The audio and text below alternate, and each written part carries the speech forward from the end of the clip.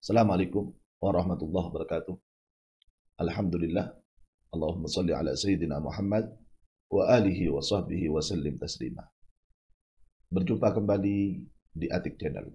Setelah beberapa bulan atau bahkan satu tahun kami belum mengupload video karena dengan kesibukan.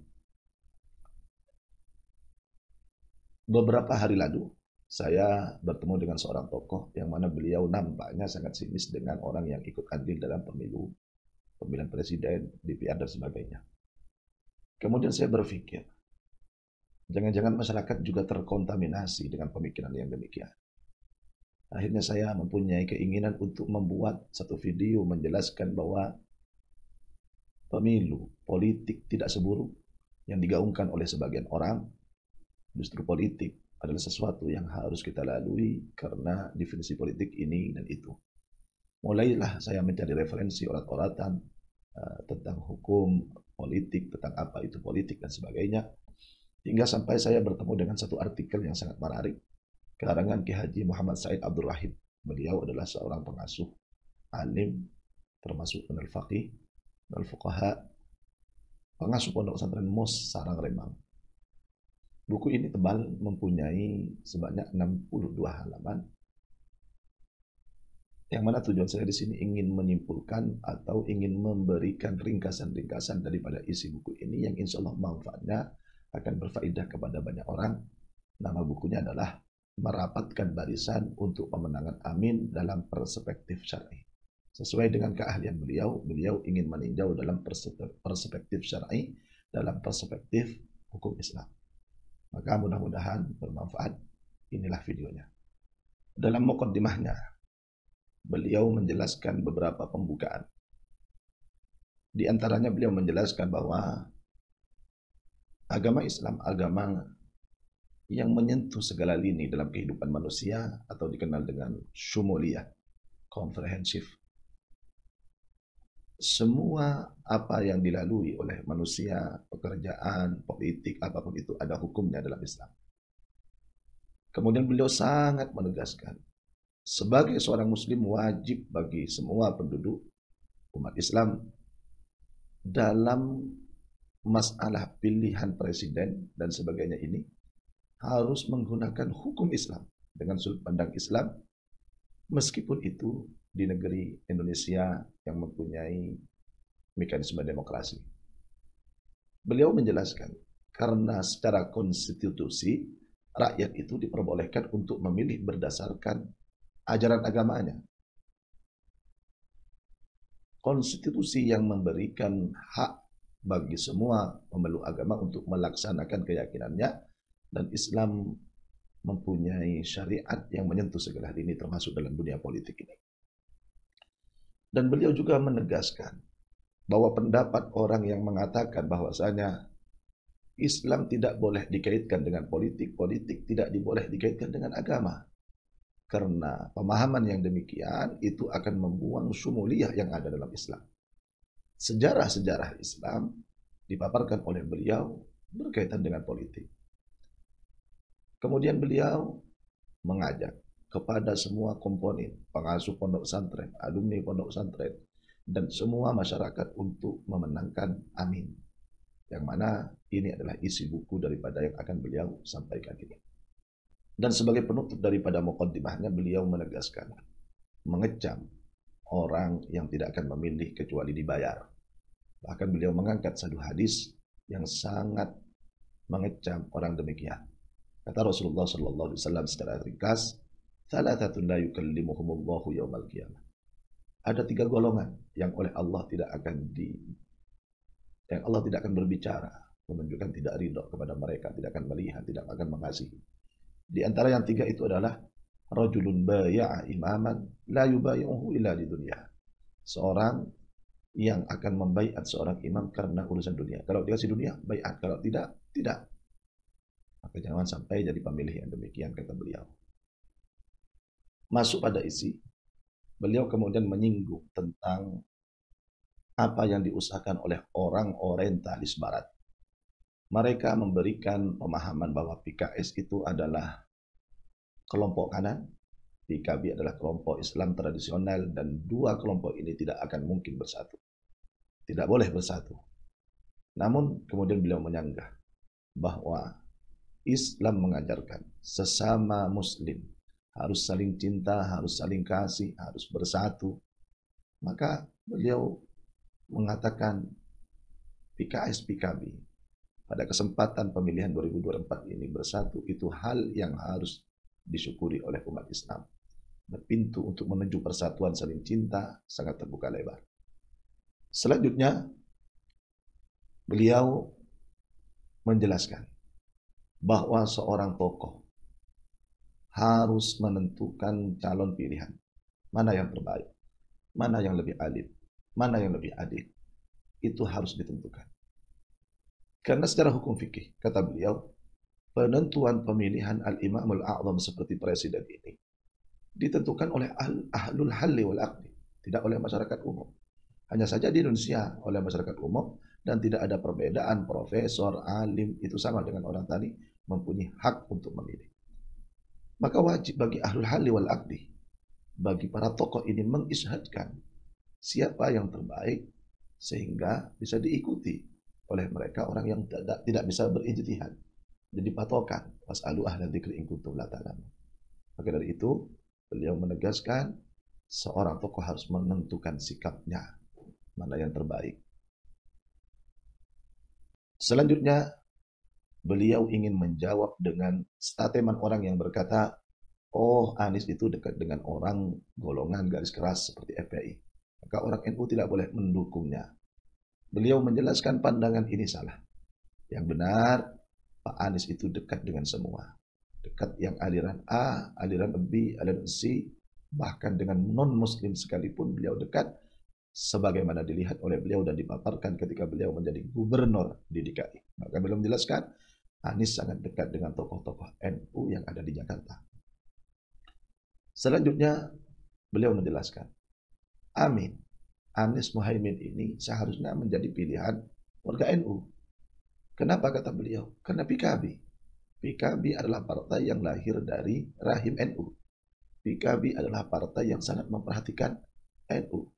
PKB adalah partai di mana ideologinya adalah ideologi NU. Seharusnya NU menjadi sumringah bahagia untuk membela, memenangkan apa yang seharusnya mereka usahakan untuk PKB, yang mana PKB adalah bagian daripada NU. Kemudian beliau menjelaskan bahwa di antara visi misi daripada Amin ini adalah mewujudkan perubahan untuk persatuan. Kemudian beliau menjelaskan panjang lebar tentang banyak hal di Indonesia ini yang perlu dirubah untuk menuju yang lebih baik. Beliau kemudian menyinggung pelemahan KPK. Beliau menyinggung tentang maraknya korupsi. Beliau juga menyinggung tentang hutang negara.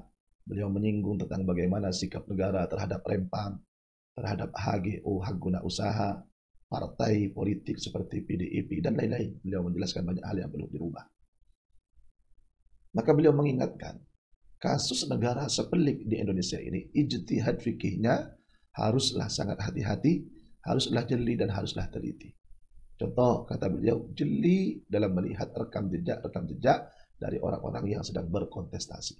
Bahkan beliau menegaskan, baru kali ini kita penduduk Indonesia disuguhkan calon presiden yang betul-betul mempresentasikan sosok calon dengan rekam jejak dan kriteria yang sangat kuat dan menonjol. Tentu kata beliau, sehebat apa pun, sebaik apa pun, lebih baik daripada orang lain, pasti saja ada yang benci, pasti saja ada yang hasut. Kemudian memutarbalikkan fakta dan lain sebagainya. Untuk itulah kemudian kita betul-betul harus jeli dalam mengijtihadkan fikih penentuan siapa yang harus dipilih. Selanjutnya beliau membahas kenapa NU PKB harus berkoalisi dengan Nasdem dan PKS. Tentu untuk mencukupi persyaratan. Tentu untuk mendulang suara. Bahkan beliau memberikan contoh dahulu Ki Haji Hashim Ash'ari saja pernah berkoalisi dengan Masumi kanan dan tradisional. Maka beliau sangat menyesalkan ada seorang mubalik dari NU yang bilang masa wong NU bareng sama PKS ora mungkin ora mungkin. Ini bukan mau ini loh. Ini bukan menyejukkan, malah memecah belah umat. Selanjutnya, kenapa harus berkoalisi? Untuk mengamalkan ajaran NU. Di mana di antara ajaran NU adalah ukhuwah Islamiyah, ukhuwah Basyariyah, ukhuwah Wataniyah. Bersaudara sesama muslim, bersaudara sesama manusia, bersaudara sesama negara. Maka seharusnya dalam koalisi-koalisi seperti ini orang NU betul-betul berterima kasih kepada PKS di mana PKS tidak ngotot cawapresnya harus dari mereka tapi direlakan, direlakan kepada orang-orang NU. Kemudian beliau menjelaskan ada orang yang bilang jangan dukung Pak Anies karena Pak Anies itu didukung PKS dan PKS itu artinya Wahabi. Beliau menegaskan pemahaman dan pernyataan seperti ini itu adalah salah. Karena pengurus dan anggota yang tidak berpaham Wahabi dalam diri PKS itu sangat banyak. Bahkan Ketua Dewan Syura PKS sendiri, Habib Salim Segaf Al-Jufri, berasal dari Al Khairat yang sepaham dengan NU. Juga kata beliau sangat banyak bahkan ini rata-rata perbedaan antara NU Muhammadiyah NU Wahabi hanya dalam masalah furu'iyah saja. Maka tidak perlu diperdebatkan. Maka beliau mengajak, jangan karena perbedaan organisasi kemudian kita menimbulkan sekat-sekat antar umat Islam. Jangan karena tujuan organisasi dirinya baik kemudian memakai cara yang tidak baik. Bukankah kaidahnya berkata, al-ghayah la tubarrirul wasilah. Selanjutnya beliau sangat berharap dan menegaskan seorang santri yang berilmu tidak harus berlandaskan ini daunnya Kiai A, ini daunnya Kiai B, ini daunnya Kiai C. Tapi seharusnya santri yang berilmu menimbang dulu dengan dalil-dalil syar'i, dengan dalil-dalil agama. Baru setelah itu jika cocok diterima. Jika tidak cocok, tidak masalah, tidak diterima. Karena seorang murid bisa dan dilaksanakan. Boleh berbeda pendapat dengan gurunya. Dengan dua catatan, selama dia berpijak pada dalil-dalil syar'i dan dia tetap menghormat terhadap gurunya. Beliau menegaskan ini. Kemudian beliau menjawab satu permasalahan. Ada seseorang yang berwarga NU, mereka berkata, kalau PKS menang nanti Wahabi yang menguasai Indonesia. Maka beliau mengingatkan jangan takut. Islam wasatiyah itu yang berada di segala penjuru dunia. Jangan takut. Karena menunjukkan sikap seperti ini sama halnya dengan khawatir dengan negara Islam yang mengindikasikan bahwa negara Islam itu jahat. Padahal tidak. Beliau menegaskan kembali jangan takut dengan pemahaman seperti ini. Karena gagasan tersebut hanya keinginan dari sebagian kecil anggota PKS saja, yakni yang ingin uh, membentuk negara Islam atau sebagainya. Itu hanya sebagian dari anggota PKS saja. Dan wacananya pun tanpa kekerasan. Hanya ide dengan ide. Kemudian beliau memaparkan bahwa sebenarnya PKS sekarang itu sudah berubah. PKS keras itu dahulu tahun 1998. Namun seiring waktu berjalan, mereka sadar bahwa negara Islam tidak bisa didirikan di Indonesia atau Indonesia menggunakan negara Islam. Karena itu akan menimbulkan mafsadah dan kekacauan yang secara hukum fikih harus dihindari. Dan kemudian bersepakat bahwa pemerintahan Indonesia adalah sebuah pemerintahan yang sah secara hukum fikih. Selanjutnya, beliau menjelaskan tentang pentingnya presiden dan syarat-syarat untuk menjadi seorang presiden pemimpin tertinggi.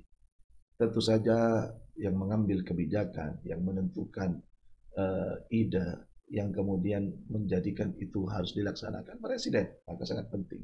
Bagaimana jika orang yang salah kemudian menentukan dengan cara-cara yang salah? Kemudian beliau menjelaskan, bagi kita wajib untuk memilih pemimpin calon presiden yang lebih mendekati syarat-syarat syar'i. Kalau tidak ada yang cukup mendekati, paling mendekati. Beliau menjelaskan dalam kitab Ahkam Sultaniyah ada tiga syarat utama dari seorang calon pemimpin terbesar, tertinggi. Yang pertama memiliki ilmu agama yang cukup. Yang kedua taat syariat secara umum, baik itu dalam bentuk ibadah atau dalam bentuk kenegaraan, yakni amanah, adil, tidak korupsi dan lain sebagainya. Dan yang ketiga, punya kecakapan berpikir untuk mengatur rakyat dan mengatur kemaslahatan dengan mengedepankan keadilan. Kemudian beliau menjelaskan tiga-tiganya ini yang paling mendekati hanya Pak Anies dan Pak Caimin. Kalau calonnya banyak, maka mencari yang paling dekat dengan syarat-syarat ini tentu tersebut tentu saja sebagaimana disebutkan barusan yang paling mendekati adalah Anies dan Caimin. Kemudian beliau memaparkan beberapa keunggulan-keunggulan dari Anies selain dari tiga syarat utama tadi. Secara singkat saja, sebetulnya beliau menjelaskan poin per poin dengan beberapa referensi atau uh, analisa beliau. Yang pertama, Pak Anies itu memiliki ketegasan hukum. Yang kedua, Pak Anies itu mengerti, memahami, dan merangkul anak buahnya.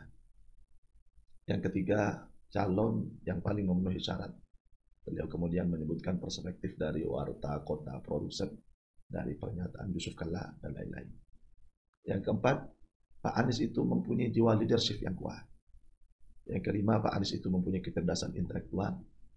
Yang keenam, Pak Anies itu punya banyak pengalaman. Yang ketujuh, Pak Anies itu mempunyai track record yang terbukti baik yang kedelapan, Pak Anies itu sukses melanjutkan kebijakan pemimpin-pemimpin sebelumnya. Yang kesembilan, Pak Anies itu bisa jadi pemersatu. Dan semua diberikan contoh-contohnya dan paling banyak rujukannya adalah ketika di Jakarta. Ke-10 Pak Anies itu banyak prestasi. Yang ke-11 Pak Anies itu sederhana. Yang ke-12 Pak Anies itu sopan santun. Yang ke-13 Pak Anies itu adil. Yang ke-14 Pak Anies itu sudah matang secara emosional. Yang ke-15 Pak Anies itu mempunyai public speaking yang bagus. Yang 17 pemimpin yang sudah terbukti. Yang 18 Pak Anies itu ketika dipilih menjadi pilihan dari orang-orang yang mempunyai pemilihan bentuk rasional. Tidak asal-asal memilih. Kemudian beliau juga menyampaikan tentang beberapa keunggulan-keunggulan daripada Caimin. Intinya dari beberapa keunggulan ini beliau memberikan contoh-contoh terutama ketika berada di Jakarta kesimpulan akhir dari beliau. Beliau menjelaskan bahwa pada dasarnya memilih pemimpin yang adil itu hukumnya fardu kifayah.